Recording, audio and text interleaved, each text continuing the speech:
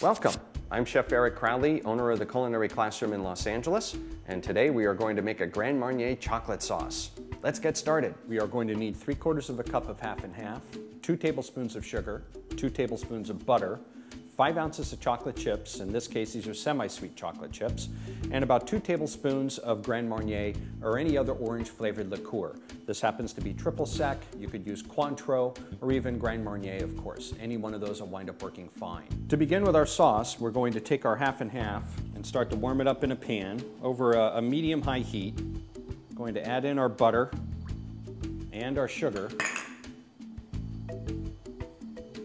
And we're gonna let this melt and we're even gonna bring it up to a boil. One of the things you'll notice here is that the milk, or the half and half in this case, is gonna start to boil around the rim of the pan. I'm gonna stir in this butter and get it to melt. The sugar is gonna melt at the same time. Once I start to get a nice bubbling going into this pan, I will go ahead and add in the chocolate and basically stir the chocolate around until it gets melted. Really important that uh, as the sugar is melting, it's gonna have a tendency to want to settle to the bottom of the pan. It's not a bad idea to get your spatula and go along all over the bottom of the pan and even up on the sides. If you're noticing that, for example, here I'm getting a little bit of caramelizing, some butter actually got up to the side of the pan, it's starting to turn golden brown, that's fine. I'm gonna go ahead and lower the heat a little bit and let this start to bubble. And I'm actually gonna cook it at a low boil for a couple of minutes. And what I'm looking for is a little bit of bubbling. I can actually feel with my spatula that the sugar is melted, so I don't feel any kind of granular quality against the bottom of the pan. So I can actually stop stirring. The more you stir, the more you're actually gonna cool off the sauce because you wind up disturbing the surface tension and you wind up cooling it off. So you're gonna leave that alone and you can see very shortly we start to bubble along here. And bubbles are gonna start to come around the edges and then it's gonna start to bubble up on the center of the pan too. I'm gonna let this cook for just a couple of, uh, for about a minute or so. Spatula is uh, very important. You wanna utilize one that can really take a, a high heat. This is a, a, silicone spatula that can withstand 450 degrees. A standard rubber spatula, or if you have a spatula at home that's made out of a hard plastic, you might find that it'll actually start to melt when you wind up getting along the edges of the pan, right along here. So that's not going to be ideal. You could use a wooden spoon as well, but the spatula is really great to really cover the entire bottom of the pan and along the side of the pan. So after two to three minutes have elapsed, add in our chips,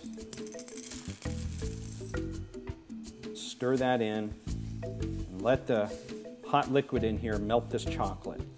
You could utilize a, a, bar form. Really important that you wind up taking the uh, bar and break it up into chunks and then take those chunks and chop them up into really small pieces with your knife. If you wind up utilizing really big chunks inside the pan, they're not gonna melt rapidly enough and you wanna make sure that they get really nice and melted and you also wanna make them, you wanna have them melt quickly.